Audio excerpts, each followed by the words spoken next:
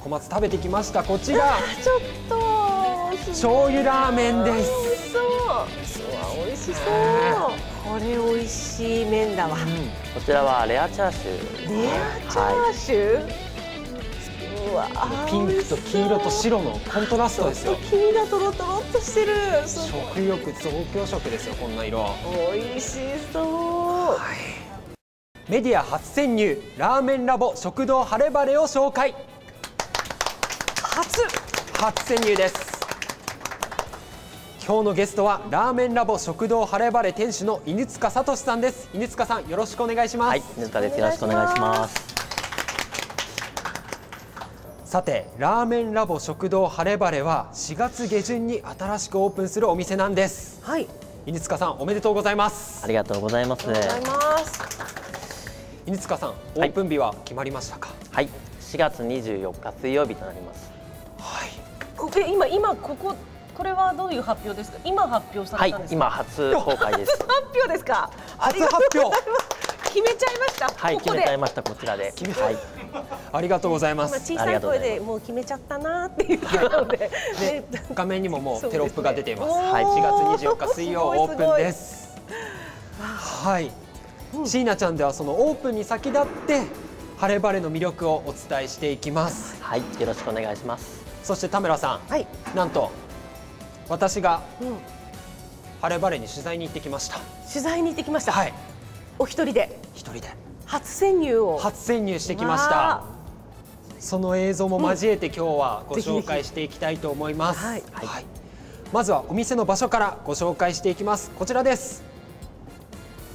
秋田駅から南通り方面に徒歩5分歩いたところにお店があります白い外観なのでとても目立ちますねねえ。犬塚さん。はい、白い外観なんかこだわりはありましたか？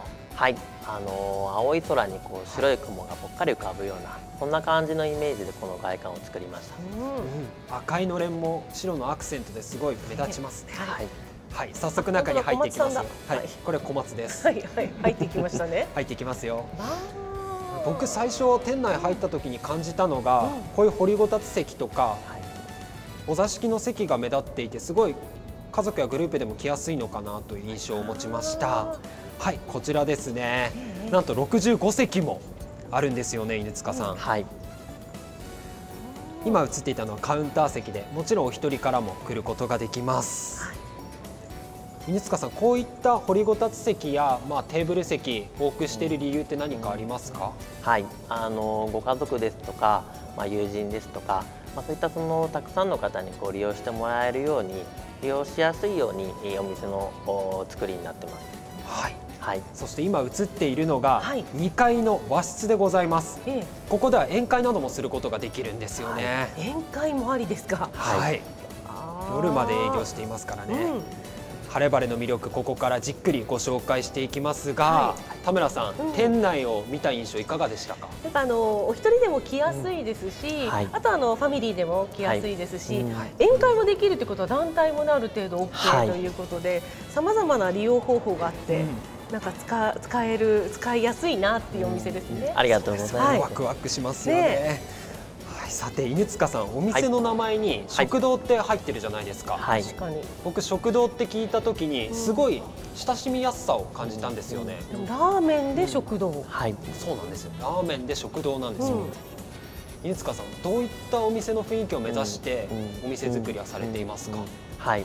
あのお昼は、えーラーメンを中心としたあー食堂のメニュー。をやっておりまして、夜はあラーメンラボプラスとして昼のメニューに加えて居酒屋のメニューも提供していくようなお店にえーなっています。居酒屋居酒屋ですよ、えー。カメラさんラーメン屋で居酒屋メニューが楽しめるって。もう笑顔が止ま止らないですよね。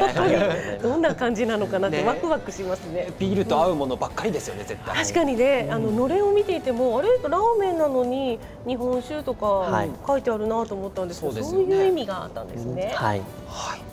この晴れ晴れをオープンした経緯はどういったものがありました？か、はい、実はですね、えー3月まで稲庭中華そば秋田本店というお店を営業しておりました。こちらですねはい。で昨年7月にですねあの大雨の被害がありまして、えーまあ、自宅とお店と被災してしまったんですけれども、まあ、その時にそのたくさんの方々に協力していただいてまず無事復旧することができたんですけれどもやっぱりそのたくさんの方々に支えられてお店というのは成り立っているんだなっていうふうにつくづく感じました。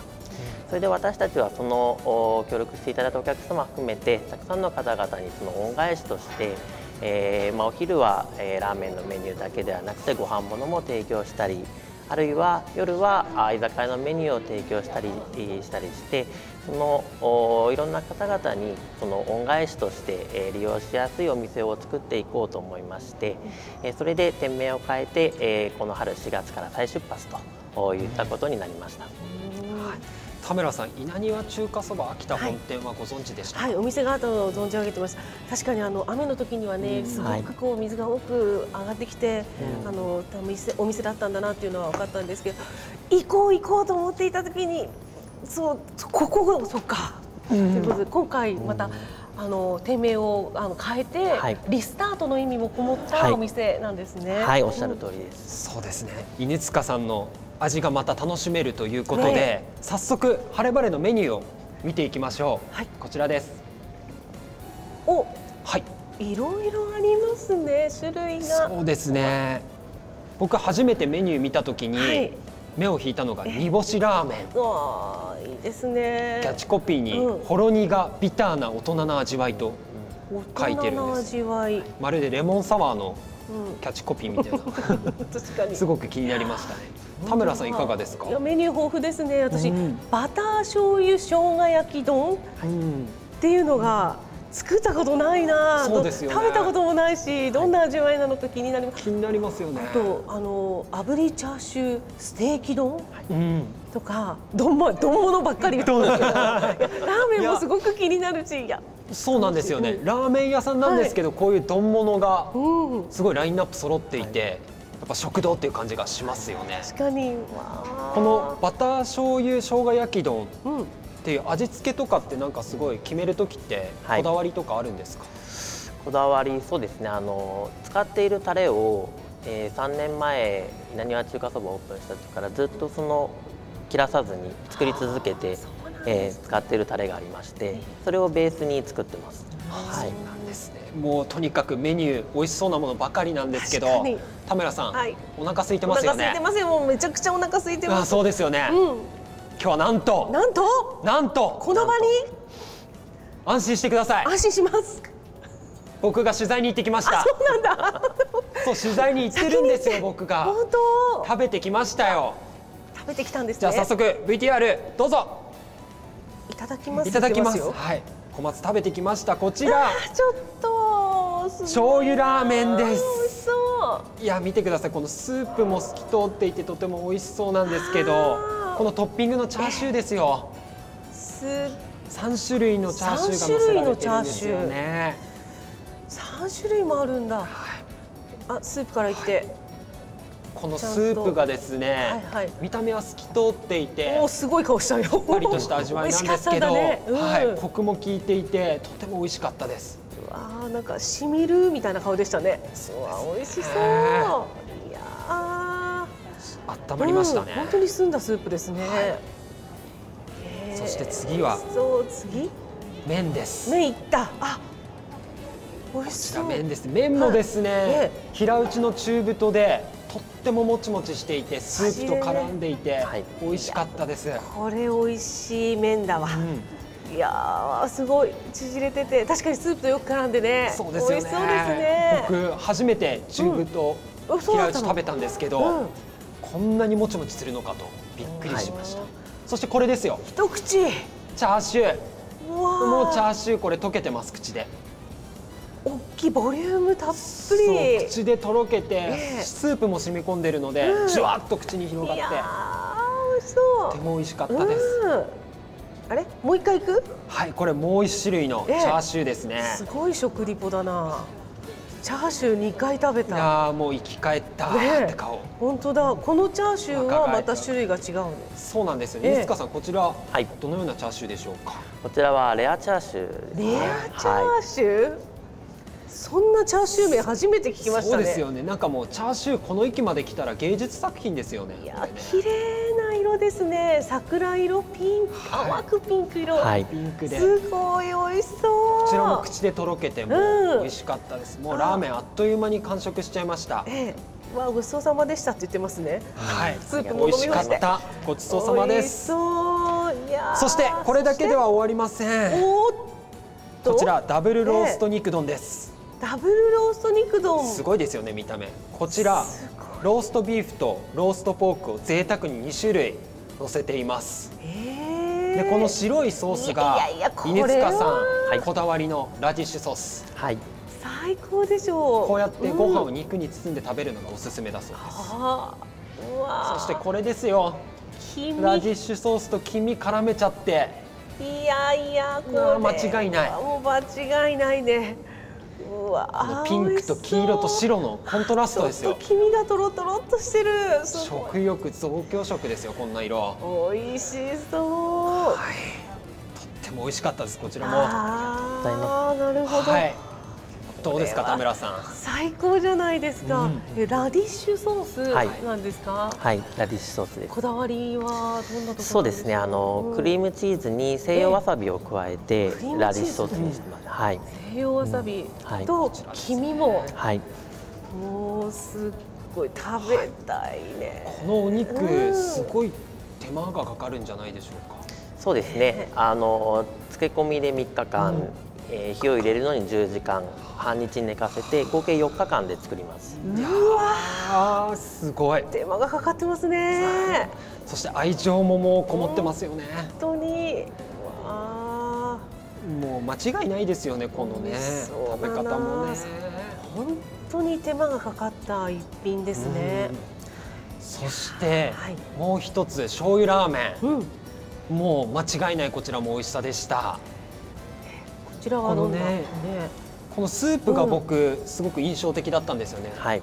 スープのこだわりの点って改めて教えていただけますか？そうですねあの豚チンタンスープといって、ええ。豚を3種類24時間煮込んだスープになってまして、まあそちらに煮干し昆布うかつおを加えて、えースープを作ってます。豚なのにね濁らない本当に透き通ったスープなんですね。それでいてあっさりとうん。飲めたんですよね、とても美味しかったです。奥深はいそうで、この麺麺もねよく絡んで。いいねとても美味しかったですよ。